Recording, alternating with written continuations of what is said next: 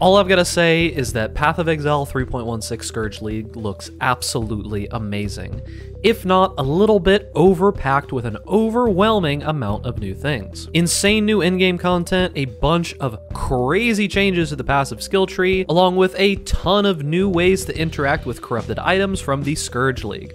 This video, we're going to be going over the patch notes, we're going to go over all of the major things that you need to know about them and skipping most of the little stuff, and I'm also going to be making a bunch of other particular videos that are specifically meant to go in-depth on certain big changes that you're going to be seeing in the next league. So let's talk about it.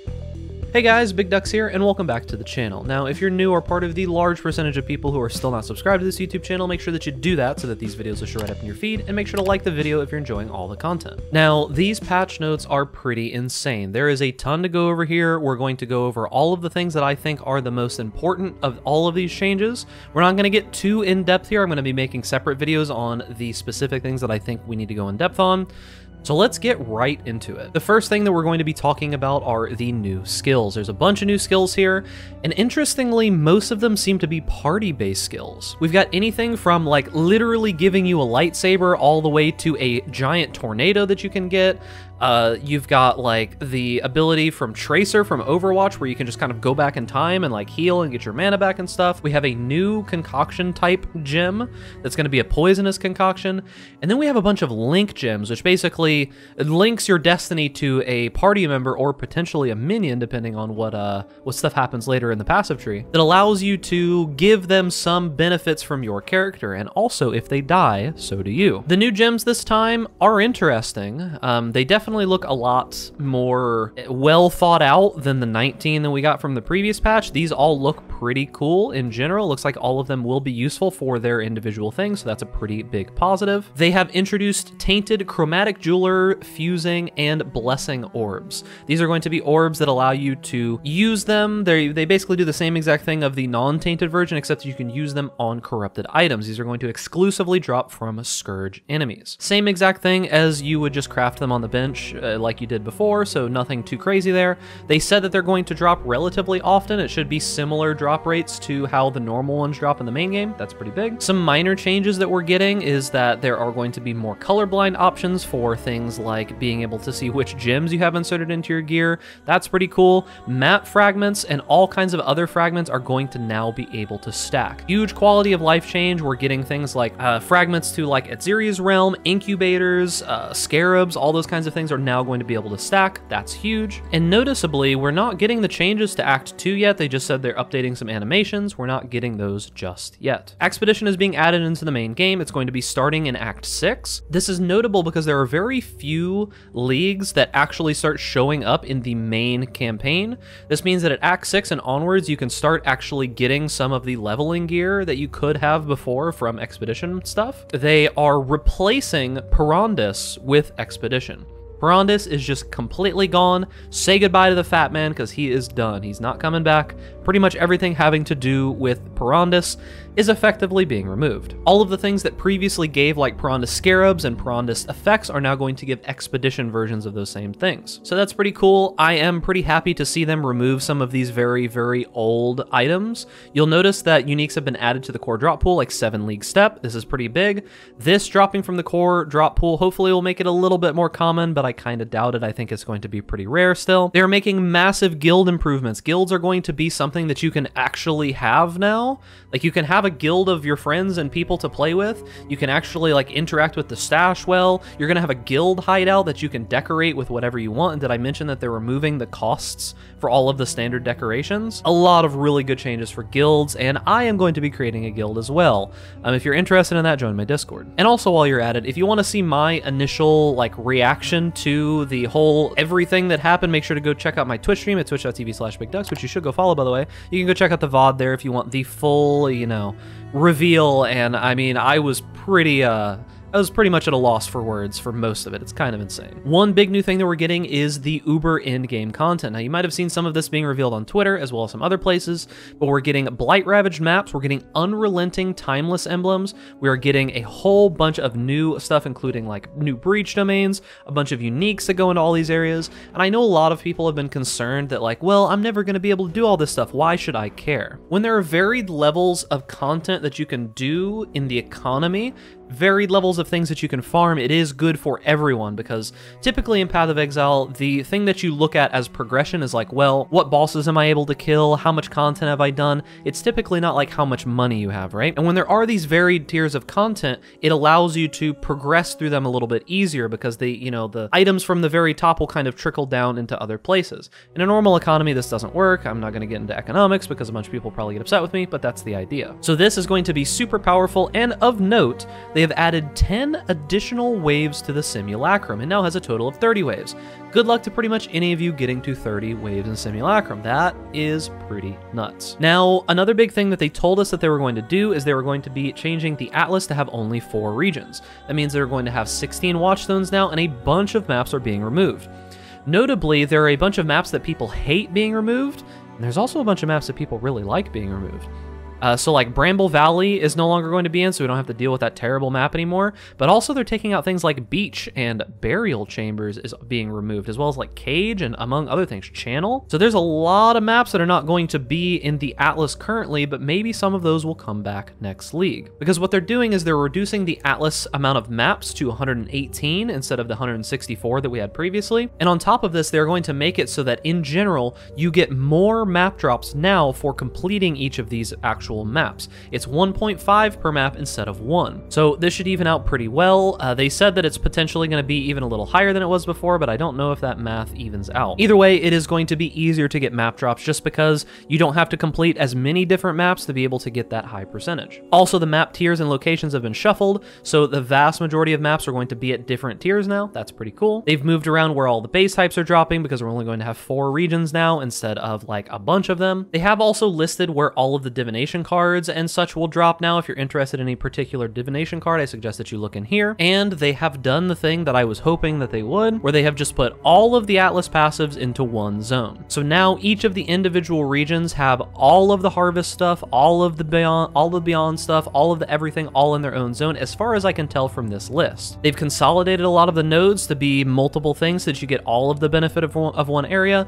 Should be pretty nice. They've also added in a bunch of expedition passives. These look pretty good, as in we get like increased explosive radius in areas, number of explosives that are available to us, more logbooks, all kinds of cool stuff. As said previously, they have combined a bunch of these Atlas passives as well as moved things around or removed certain things just to be able to fit all of them into one zone without it taking too many nodes. Now for anybody who cares about Delve, that's unfortunately not me, so I'm not going to go super deep into this, but Delve has been normalized to where you don't need to go as deep anymore, and you're also going to be able to start much further in Delve if you've completed into maps. So if you've say, gotten to like tier 16 maps, you're not going to be going into tier 1 map equivalent delves. You'll be going up into like tier 13 or 14. And also, you'll see that depth 1500 now is equivalent to the previous 6000 depth. They've made it so that you can see bosses a lot easier, and they've also made it so that the rewards from those bosses are substantially better. They're making it so that biomes can actually spawn lower, deeper down in Delve, and they're also making it so that the initial scaling of the Azurite mine goes faster. Delve should be a lot easier to interact with now, especially since you don't have to like start from scratch essentially if you've already done a bunch of mapping. Another thing that I didn't notice earlier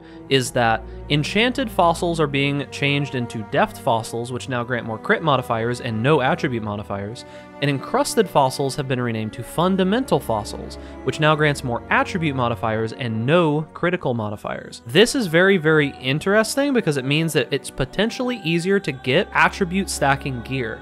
I think this is one of the first times that we've actually been able to target attribute stats ever. I'm not 100% certain about that, but yeah. You might have already heard this one, but the Labyrinth is being changed to where you don't need to find the Trials of Ascendancy in maps anymore. They're going to spawn in yellow maps, and all you need is the little entry key to be able to get into the Uber Lab. Very big change for early on. You don't have to worry about not being able to get into Uber Lab and not getting your fourth Ascendancy. You're pretty much guaranteed it now. Already talked about this extensively in a previous video. Make sure to go check out that if you're interested in ailment mitigation we are going to be skipping it for now. Same thing with flasks, utility flasks, and also all of this. We have gone through this extensively in my first video talking about the Balance Manifesto.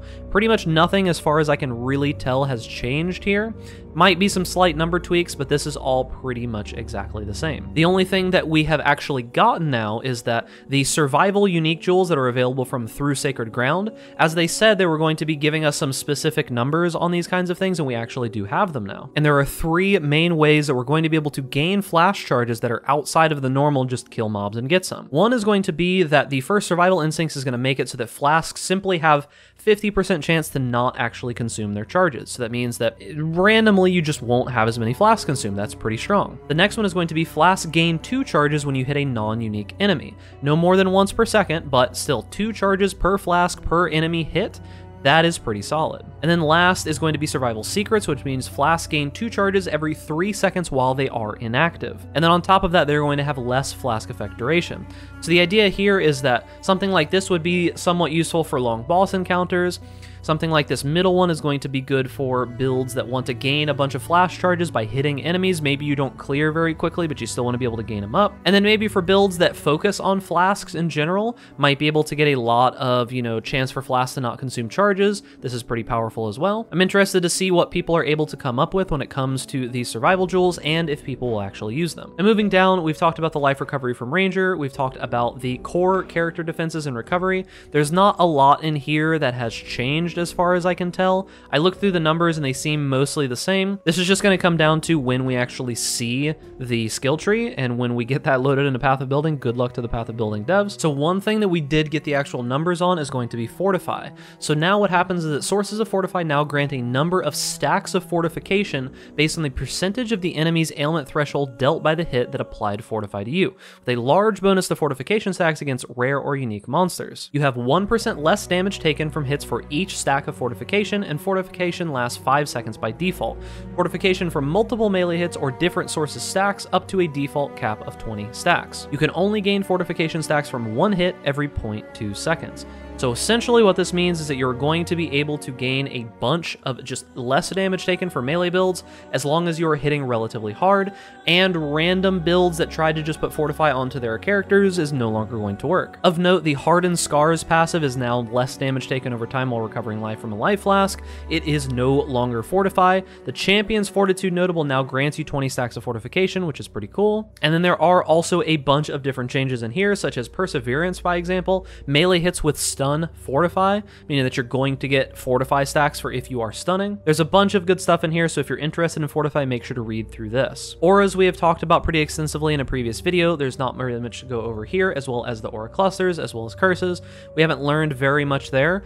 Also, they haven't given us very much more information about elemental damage over time, but according to Chris Wilson, they have a goal with the cold and burning damage over time abilities, that they should even out roughly the same, as well as there be potential for them to be a little bit higher in damage with the new changes to items and the skill tree and such. We have gotten clarification on Flame Surge, as well as the attack-based mechanic that allows you to deal more burning damage to a targeted enemy. Flame Surge now creates a burning ground that deals damage equal to a percentage of that ignite that you hit an ignited enemy. So burning ground can be created every two seconds, with 50% of the ignite damage on the enemy converted to burning ground. So so what I'm assuming is that Burning Ground is just going to be created by igniting attacks, and Flame Surge also is going to give you access to the Burning Ground mechanic for spells. That's the idea. Now, everything else is just some random stuff that they've kind of added into here. I'm going to try to just go through this quickly so we can get to the things that I feel matter, and there's a few of them that we do want to talk about, but there's just a bunch of random information here for the most part, so we're going to go through it. One thing is that Cluster Jewels now are going to have some of their stats moved onto other locations I'm to make a video talking about the new mastery mechanic as well as the new skill tree stuff, so look out for that coming soon. Also, as they said previously, damage over time builds didn't have access to a good amount of damage over time modifiers on the tree, so they're adding a bunch of those. That's really solid. They are also going to be moving life into just generic nodes towards the start of all of the different, you know, uh, characters, meaning like at the beginning of Ranger, there's going to be a little bit more life, shadow, all that kind of stuff, specifically on the right side of the tree. And the Scion life square is turning back into a life wheel, and it is going to have its life totals reduced a little bit. They've also added a bunch of clusters to the spell tree for things like spell block, spell suppression, a bunch of life gain mechanics here, energy shield and ailment mitigation, curse mitigation, all kinds of good stuff. One big thing that they've done is they've moved keystones around the tree. Once again, I'll be talking about this in another video. These look to be in some pretty nice places. This is a good change once you see it. So as I said previously, there are a few special benefits from cluster jewels that would be more well suited to these masteries.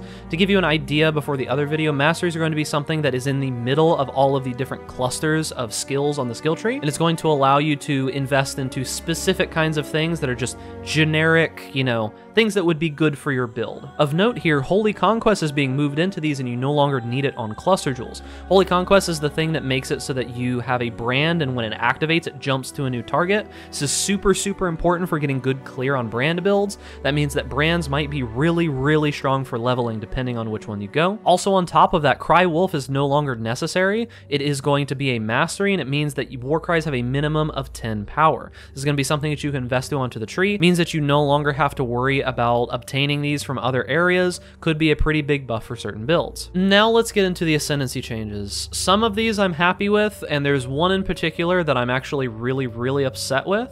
So let's go through them. There are a bunch of changes that are happening to a bunch of the different Ascendancy nodes. Tasalio Cleansing Water is just getting a little bit of a buff to the amount of physical damage converted into fire damage taken, and it is getting a slight nerf to the increased life recovery rate because this is to account for all of the new life recovery that's going to be available to us. This is just a small buff, and they are removing some of the life recovery, as I said, to account for other things. Gladiator. Now, originally they said that they were going to give us something along the lines of like Lucky Block or something like that, but instead what they've gone with is they've buffed Pain Forge by 2%. They've added a new notable, which replaces Versatile Combatant, and this is going to give plus 10 to maximum block chance. Now, this doesn't say particularly attack block, but it also doesn't say block and spell block. So I don't know, it just says block, I would assume that it means block and spell block. Essentially what this potentially means for the Gladiator is that either 85-85 is possible, which is going to be like ridiculously hard to actually scale into if you wanted to even try to do that. But on top of that, it also means that if you do take the versatile combatant node, which is being moved to the tree, 60-60 is very, very easy to come by. I think that's the intended way that you're going to be doing it, is you're just going to be having 60 block and 60 spell block and not, you know, it's just intended as kind of a nerf but the maximum for builds that really do want to push the absolute maximum block chance is potentially there. Another interesting note is that Violent Retaliation now has ignore enemy monster physical damage reduction if you blocked in the past 20 seconds, and attack damage is lucky if you've blocked in the past 20 seconds. This first part is not as useful as it is easy to get quite a few sources of, you know, ignoring enemy monster physical damage reduction, but attack damage is lucky is potentially really, really big. This could be pretty good. The next one that we're going to talk about is Inquisitor. It, Pious Path now grants 50% increased effect of Consecrated Ground you create. Consecrated Ground is getting some like curse reduction effectiveness added to it. Inquisitors could potentially very easily just be immune to curses most of the time, so that's pretty cool. Next one's going to be Raider. Now, a lot lot of people were worried about Raider because they were thinking like, uh-oh, Raider might get nerfed pretty hard. Raider did suffer a few small nerfs here, but it is in no way making the Ascendancy useless. So first thing is that Quartz Infusion is no longer granting dodge. I kind of expected this. My guess was that it was either going to be avoidance or spell suppression, and they did go with spell suppression. 40% chance to suppress spell damage is pretty large. That is almost halfway to being capped, and it's a little bit under a third of the way of getting to capped spell dodge. So this is pretty good. Avatar the Veil is no longer granting nearby enemies have less accuracy while you have phasing. This is just an overall nerf. It is 100% a nerf, but it's not that big. Less accuracy rating isn't going to be that necessary. Blind will still be good for evasion type builds, so this should be okay. And then Avatar of the Chase is no longer granting 35% more chance to evade melee and range. It is now simply granting 10% more chance to evade attacks in general. This is to account for the evasion changes. This is going to be a wash. It shouldn't be too big of a change. Now we move on to the part that I'm uh, that I'm actually pretty upset about. Trickster got nerfed is kind of what it feels like. So Patient Reaper got adjusted because there's going to be more recovery rate available on the tree, but this new notable that replaces Ghost Dance, every 10 seconds take no damage over time for 5 seconds? What is this node? Th this doesn't feel like an ascendancy point. This feels worthless. I'm sure that somebody will find a way to utilize this, but as it currently is, I see no reason to go Trickster any more than we did before. Ghost Dance is now available on the tree, so why would you not just go another build and take Ghost Dance and completely ignore the Trickster at this point? I think Trickster, this node that they're going to provide is bad. I don't think it's good at all. Maybe someone will prove me wrong. I'm hoping to be proven wrong. This doesn't seem good. Rest in peace, Trickster. However, our boy the Saboteur is gaining 5% damage reduction from Born in the Shadows. That is pretty big. Um, the Seismic Trap build is looking pretty good, just gonna say. And then the Ascendant is getting some changes to reflect the things above. Now, the next big change is that Awakened Gems are going to be ridiculously good. Boss farming, specifically Sirus farming and the other Conquerors, of course, is to be very, very profitable. The TLDR of this whole section is that a bunch of the new Awakened gems are getting like plus to level of supported gems that, that are in there. They're getting like, I mean, anything from like physical gems for added fire, minion gems for minion damage. Most of the gems that didn't do anything previously are getting like an additional 5% more damage per gem at level 5. There's a bunch of cool stuff in here. I, I suggest that you go in and check each one of these specifically because there's a bunch of really cool stuff. Interestingly, melee is getting some of its strike range removed from the skills and just having melee strike range generically added to the tree. That's honestly pretty cool. I don't know if this is going to fix melee in any meaningful way, but it is a step in the right direction in my opinion. Now we're going to get on to some of the nerfs here. Uh, shield skills are being obliterated. Uh, specifically, the one that most people are worrying about is Spectral Shield Throw. I just want you to read these numbers with me, okay? So Spectral Shield Throw is getting a nerf to its base attack time. It is getting a nerf to its scaling. It's going to be basically, if you remember how it scaled previously, it was like 4 to 5, and then 5 to 7, and then 6 to 8, and so on and so forth. Well, now that's being reduced. Um, at gem level 20, it's going to be 5 to 7 instead of 6 to 8, and it is just being reduced at pretty much all points. And if you look at the level 20 damage of the gem, Previously, it did 400 to 600 base damage. It's now doing 200 to 300. At level 20, it has lost half of its base damage. I'm hoping that this is accounted for in the new armor and evasion changes to shields and such like that. I'm really, really hoping that's the case. But I feel like any non-bleed type uh, builds that were going Spectral Shield Throw got a pretty sizable nerf here. Forbidden Rite and Totems. Um, Forbidden Rite actually survived for self-cast, so if you played a self-cast Forbidden Rite build, it seems like you are a-okay. However, if you played a Forbidden Rite Totem build, character totem life has been reduced by approximately 60%. Yeah, I don't think that Forbidden Rite Totems is going to be that good anymore. It'll probably still be somewhat okay, but this does not look like the way that you want to go at the moment. Hopefully, if we see some damage numbers and such in the near future, maybe I'll be proven wrong, but I'm pretty sure, I'm pretty sure that Forbidden Rite Totems is simply dead. However, keep in mind that this is a buff to generic totems in general because they're going to be way tankier now. They just take a ton less damage from enemies and deal more damage to themselves, right? So that means that Forbidden Rite totems are both going to do less damage and more damage to themselves, so it's it's not looking great, boys. The issues with some of the 3.15 skills are being addressed However, there's a few in here that I think probably needed some more love. Absolution is getting some pretty sizable buffs. I still think it's going to be bad. Ambush is essentially just like you crit whenever you use this now. Explosive Concoction supposedly is going to be good, and then there's another Poisonous Concoction build as well. And then Voltaxic Burst is getting 1% more damage with hits and ailments for each cast of this spell that is currently waiting. I think this, the Voltaxic Burst change, is potentially the biggest one. I think this might make something work. Next is that they're nerfing cast on trigger mana multipliers. It's going to cost even more mana than it did before. I know this looks deceiving, but essentially what's happening is that the cost of the spells that you're triggering is going up, and the cost of the actual attack itself is going down. They said that this should like wash out, but I don't believe it. I think this is a mana nerf. Uh, Spectral Throw, mana cost adjusted?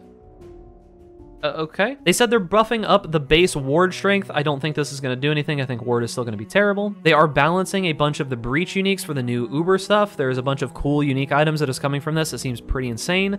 There is also going to be a unique item that makes it so that your left four magic flasks are going to just always be on. It looks like Headhunter potentially has some, uh, has some, you know, like competition for the belt slot for ridiculous belts. As I said previously, they are making a critical strike support tag, and this is something that is going to be useful on fossils, as I said before. Atziri is having a couple of her drops move around. They're moving Pledge of Hands as a drop from Uber Atziri. It's a little late. Nobody really uses Pledge of Hands anymore, but thanks, I guess. And Atziri's Disfavor is being moved to the base Atziri, meaning like the level 70 Atziri. Essentially what this means is that Atziri's Disfavor is going to be much more available early on in the league if you just want like an easy leveling axe or something to like get you through maps or something like that. And we now have a way to farm Pledge of Hands, I guess. So that's cool. Traps and Mines are gaining clever construction as a base, and they're going to be able to buff it back up to previous levels with a clever construction notable passive. So that should be pretty cool. Now, traps and mines, when you use them early on in the game, won't just get killed by enemies Pretty solid. Vaal Immortal Call is coming back, and they're giving it a 60 second cooldown so the builds can't become permanently immune. Uh, that's kind of cool, I guess.